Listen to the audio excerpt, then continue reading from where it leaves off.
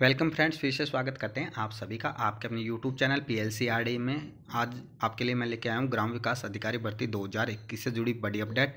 Video भर्ती 2021 का एक प्रेस नोट जारी हुआ है, जिसके अंदर फॉर्म रिजेक्टेड लिस्ट जारी हुई है। तो कौन कौन से अभ्यर्थियों के फॉर्म रिजेक्ट हुए हैं और किस कारण से आपके फॉर्म रिजेक्ट हुए कंप्लीट डिटेल आपको वीडियो मिलेगी। तो वीडियो में आगे चलने से पहले आप चैनल को सब्सक्राइब करके बेल आइकन को प्रेस कर लीजिए। राजस्थान कर्मचारी चयन बोर्ड की पल पल की अपडेट्स के लिए साथ में वीडियो को लाइक, शेयर करना ना भूलें। जैसा कि आप सभी देख पा रहे हैं, ये ऑफिशियल जो अपडेट है, राजस्थान कर्मचारी चयन बोर्ड के द्वारा जारी की गई। इसके अंदर दिया गया कि ग्राम विकास अधिकारी सीधी भर्ती परीक्षा 2021 में एक से अधिक आवेदन करने वाले अभ्यर्थियों के संबंध में निरस्त किए गए आवेदन तथा स्वीकार किए गए आवेदनों की सूची निम्नानुसार है।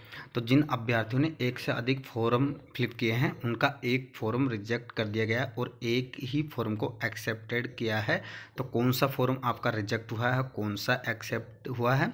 तो आप रजिस्ट्रेशन के आधार पर और अपना नाम के आधार पर यह चेक कर सकते हो कौन से फॉर्म का एप्लीकेशन नंबर है जो रिजेक्ट है और कौन से का एक्सेप्टेड है। तो इसके अंदर आपका serial number, application number, candidate नाम और फादर्स नेम दिया गया है तो ये जो लिस्ट दी गई है, वो एक्सेप्टेड एप्लीकेशन की लिस्ट है।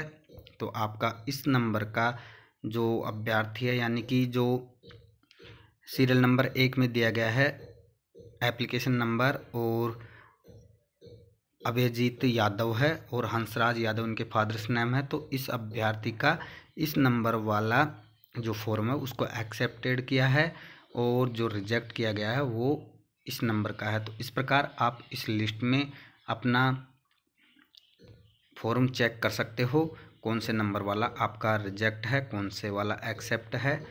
तो कंप्लीट जो लिस्ट है, आप ऑफिशियल वेबसाइट पे से डाउनलोड कर लेना। लिंक वीडियो के अंदर डिस्क्रिप्शन में मिल जाएगा। तो साथियों, यही अपडेट आप तक पहुँचाने के लिए मैंने वीडियो बनाया है।